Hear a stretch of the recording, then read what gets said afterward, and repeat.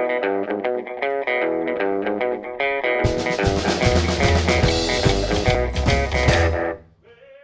from Portugal, uh, and like, but I grew up like with on TV seeing a lot of American culture, and that's uh, also been one of my granddad's uh, dream was to do the Route 66, and it, it kind of became mine too.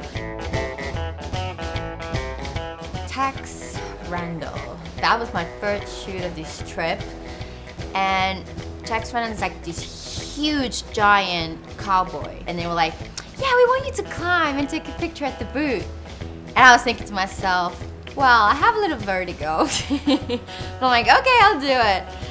The picture turned out really, really beautiful. We shot at the Wigwam Hotel and that was pretty interesting. It's fantastic. They're just like this little TV individual rooms. They're like really awesome cars.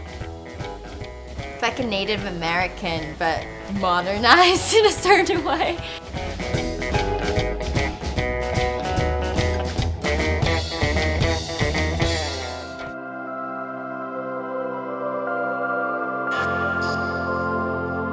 So we went to Tent Rocks and that was so beautiful.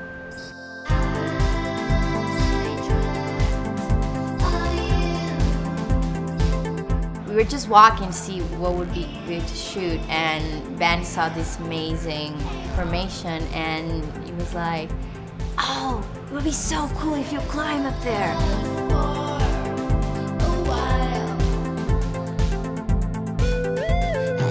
We went to the petrified forest and I didn't understand until I actually saw that it used to be a tree, now it's a rock. It was sunset, the light was so beautiful if it's a tree, a rock, or mineral, it did turn out to make such a beautiful picture with all the light. It's been a quite interesting experience coming like really in the middle of nowhere and see parts of America that you really only can see if you drive.